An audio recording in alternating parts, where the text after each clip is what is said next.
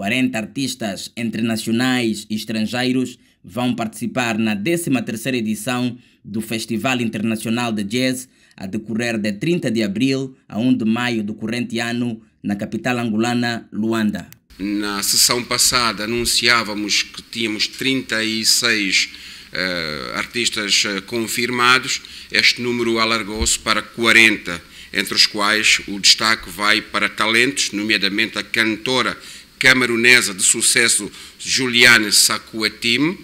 e o músico da República Democrática do Congo, Jean Guba que detém um vasto repertório musical de amplo reconhecimento artístico na atualidade. O número de artistas e o seu aumento deve-se ao grande interesse da comunidade musical internacional em participar no movimento Amanhecer no Mundo, juntos pelo crescimento inclusivo, educando pela arte. Um lema que promove a união, o diálogo intergeracional, a diversidade cultural, a compreensão mútua e o progresso do continente,